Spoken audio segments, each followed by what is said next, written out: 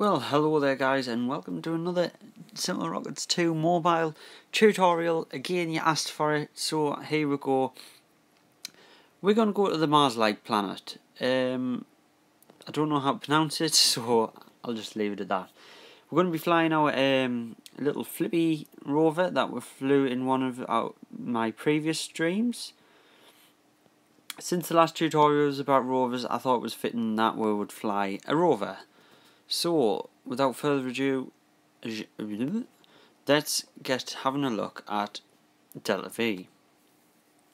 So our, our total delta V is around 8,500 meters per second, which should be plenty and we've done it before so we know it is plenty of fuel to get to Mars to land this rover.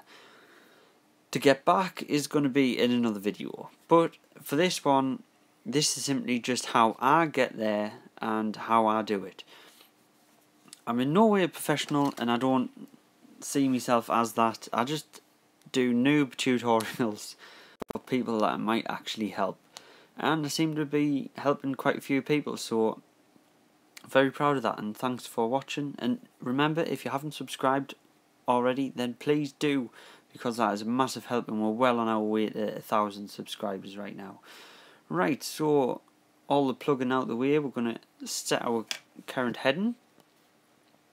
Doesn't really matter, we're just going to launch now because um, I'll show you why in a minute. So first thing you want to do is obviously just get into orbit. So we are going to time warp a little bit here because you've all seen it being done plenty of times before. So yeah, we're well on our way. This is quite a small rocket for going to Mars, but you don't need a huge rocket. Size does not matter, it's power and performance. That's all that matters in rocketry. Right, so we've reached 100 meters per second, so I'm going to start pitching over to about 80, well, it's 74 degrees there. Until we see our apoapsis on the orbit line get to around 10, which it has, and then I'm just going to hit the prograde marker so it'll lock on and turn automatically. Right. We are getting up to around 30 kilometers up now, so we're on the right track. We're about 45 degrees at 40 kilometers apoapsis, so that is perfect. Here we go, we're getting up to the 50s want to be about 60 now, yeah. And now because we're at 70, we want to just pitch all the way to zero. Because the atmosphere ends at 80, but we're going to turn that time warp off. But you want to make sure you stay at about 80. You don't want to go too high because too high of it apoapsis, you're just wasting fuel. You want to be closer to the surface as you can. So I'm just going to pitch down. Pitching down might seem silly, but it's going to stop your apoapsis getting extremely high. See, mine's gone up to 99, but that's that's doable. We've also run out of fuel, so we're going to ditch this stage. We're just going to ditch the fairing now because it's going to make no, not much difference at all. Right, we're going to bring that throttle all the way down and engage that engine. Right, we can hide that now because we won't need that. We're just going to start doing auto burns. Okay, so there you go. Let's go on the map view. And you can see how that wraps us over there in a couple of moments time. What you want to do is you want to create a maneuver node on that as close to the mark as you can and you're going to bring it all the way out until you get to a decent size orbit. It doesn't have to be perfect because remember you're leaving orbit so it doesn't really matter. We're just going to keep it at that. I'm Going to hit this little um, flight info window. Going to lock that maneuver in, put it on auto burn and warp to the burn. So then here you can see it's auto warped and it's auto burning straight on that marker. You can see a little countdown there and accuracy is high. If that accuracy goes down to low then you just want to cancel the burn and do it yourself because otherwise you're going to get yourself in a heap of wasted fuel. So we'll just make sure that accuracy stays on high the whole burn. There you go. You can see on the orbit information here that we are getting into orbit now and we are in a stable orbit. Right. So that's that part over with. How much delta V have we got left? 3,395. That is perfect. Right, we're just going to close that window for now. Going to zoom all the way out.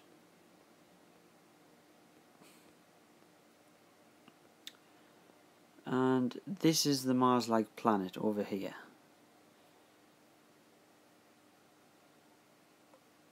You want to set that as a target. Now as you can see, Mars is behind the Earth planet. So what you want to do is you just want to time warp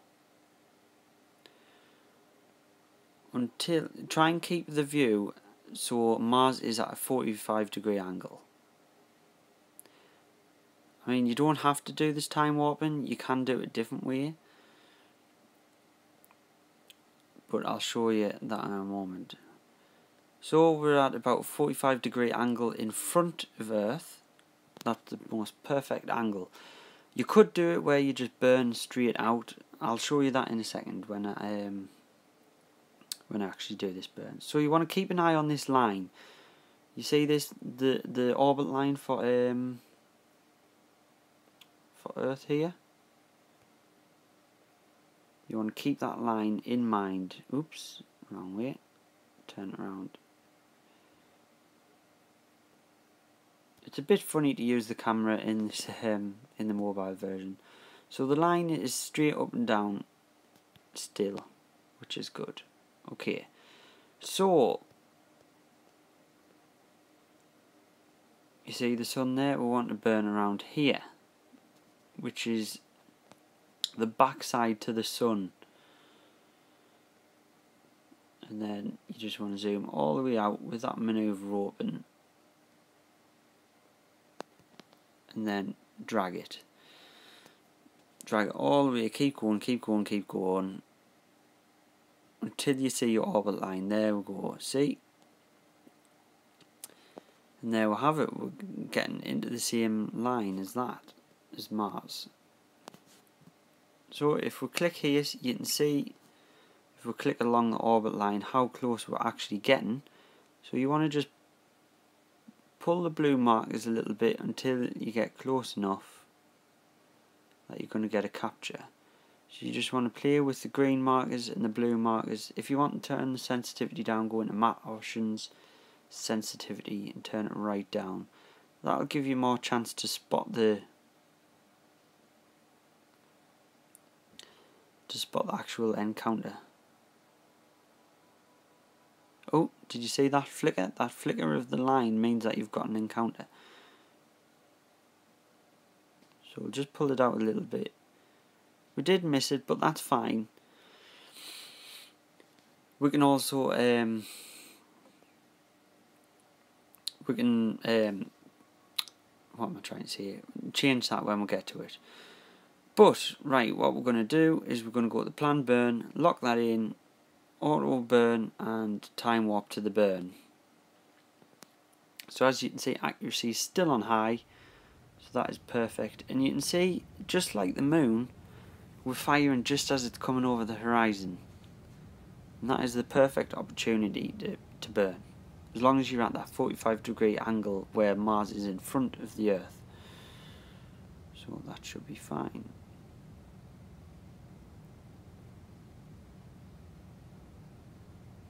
We might have a little problem here where we're dipping into the atmosphere.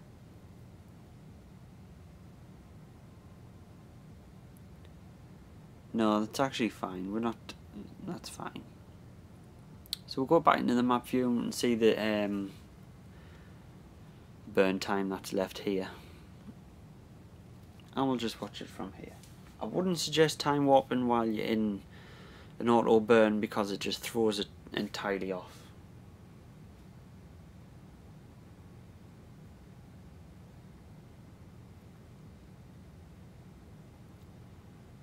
So yeah, that's slowly going down. You can see there's a thousand meters per second left to burn. And if we look in our flight window and see we've still got 2,000 meters per second in this stage alone. So there's plenty of fuel. And by the way guys, if you do want to download this craft to fly it yourself, then the link's in the description to my profile on Simple Rockets 2 where you can just download every every rocket airplane, everything that I've made in the um, in my videos. And this one is definitely on there.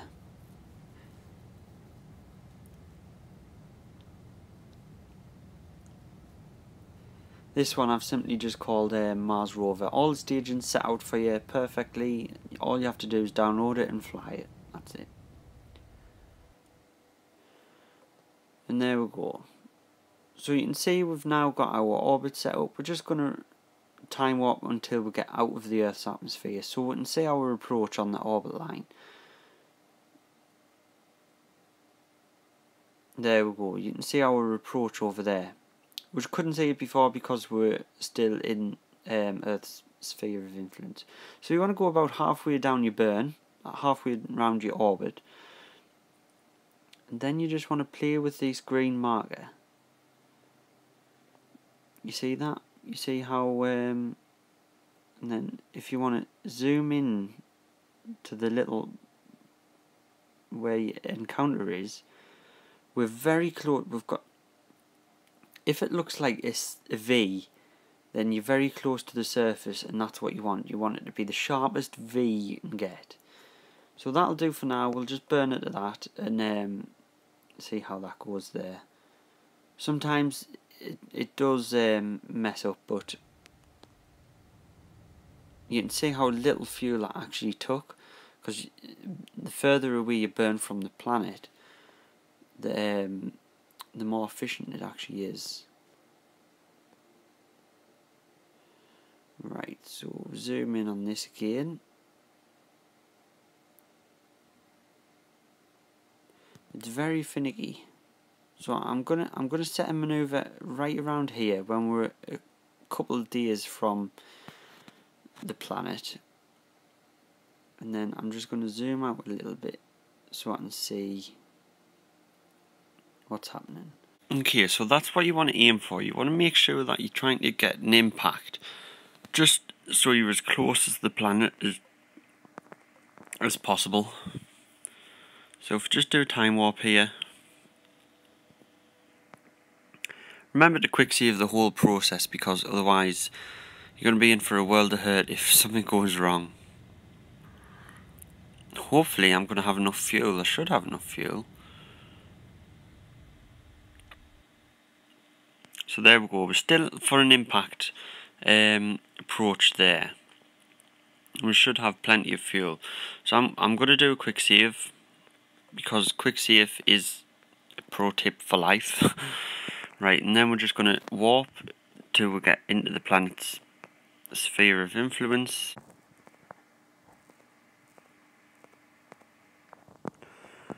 Right, so what we want to do is we want to aim we'll set the maneuver to put it barely above the surface and you know it's gonna it's gonna alter it a little bit so it'll be a little bit higher than that, what we put set it to so see we're set it to 7 kilometers there I'm just gonna lock that in and warp we want it to be as low as possible but not too low that we're gonna come in too fast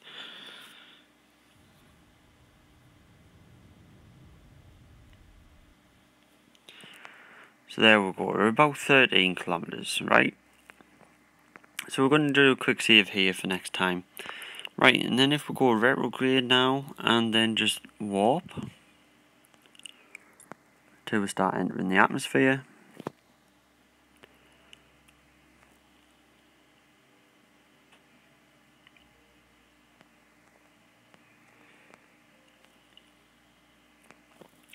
Warp a little bit more until we see the ship starting to to move a little we'll add some thrust We haven't got left a lot in this stage. That's it for this stage. So we'll let that go. And we'll put... Oh, that was close one. and we'll put these engines on.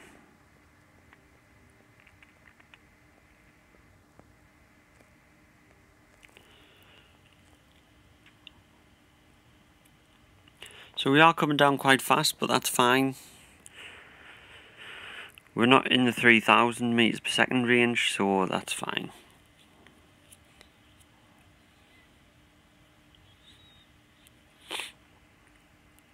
But we are getting low, so what I think we're going to do is just power on our engines, burn a lot of fuel, but also make sure we're coming into the atmosphere and going to stay in the atmosphere.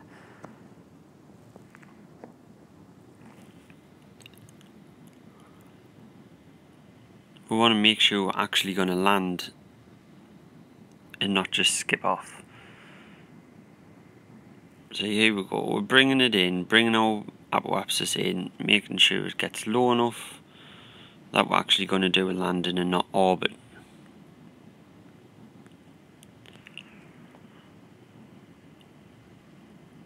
So we'll just stop it there. Now you can see we're actually coming in for a landing. We've got an impact. We're going to put the engines on a tiny little amount just so we've got that stabilization. I'm going to put this above ground level rather than altitude because altitude is wrong. Now you can see our surface speed is coming down quite a bit. I want to make sure it's right down before we open them chutes because we don't want it to to flip out and destroy itself. Wait till it's about under a thousand here.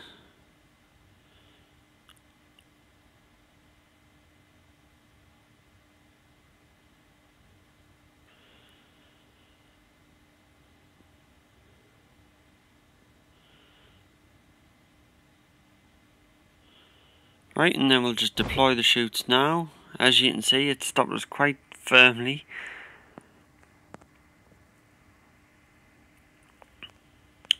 We can get rid of this wing window now. We know how much fuel we've got left due to the bar. And we're just going to drop the power. Now we've got the... Oh, I don't know why that happens sometimes.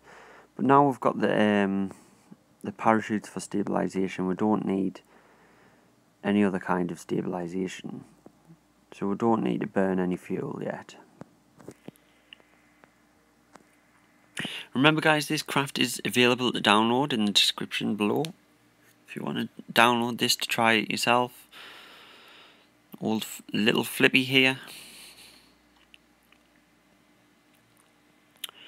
So we're not far off the ground now, we should start seeing our shadow really soon. The shadow is a good indication of how fast you're going because relatively you can't tell. So here we go. We're just gonna lock our head in here. Put on some fuel. Burn burn burn. Get that surface speed down. Down down down and drop. And there we go. We've dropped our rover and the the engines have disappeared there we go, flying around. Should have really set it up so it disconnects the um, parachutes when it does that. But yeah, there we go. We've got our little rover now. So drive around, flip over and stuff. And there we have it. That's how you get the to this planet. So if you did enjoy and you did like it, then please do leave us uh, a like and subscribe because subscribers really make the community work. So thank you for joining us and I'll see you in the next one.